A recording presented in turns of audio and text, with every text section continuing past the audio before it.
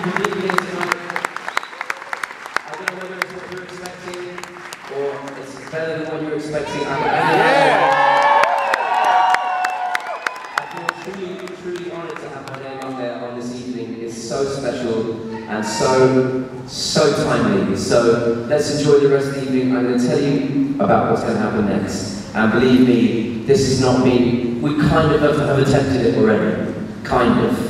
But what is about to happen is going to happen for one time only. It can never happen like this again, okay? So, every day when I go into my music room, if I'm not touring, I, uh, I improvise something, the first thing that comes into my head, and I record it. It's a bit like I'm making a musical diary.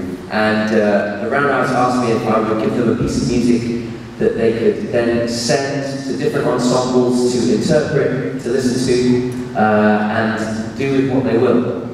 And then we will do this big concert together. So what I did was, um, I didn't send them a composition, I sent them an improvisation. So what you're about to hear is me relearning an improvisation I did six months ago. and what is amazing, and what you'll find tonight, is that each ensemble picked out a, a, different part of the music that appealed to them and they rounded it. Some of it you recognise, some of it you won't, but it's all being an inspiration for them to create their own music. And um, there's going to be a lot of people on stage doing this, but uh, I really hope you enjoy what we're about to do. Uh, I'm going to play the En Masse theme.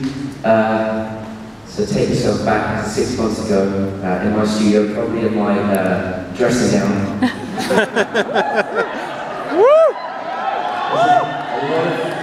folks taking off I'm sorry, I just get very hot very quickly. Um, oh, come on. I'm going to play that on my theme, and then we are musically going to bounce it around the room, do some improvisations in between based on what we just heard. So I'll see you all at the finish line.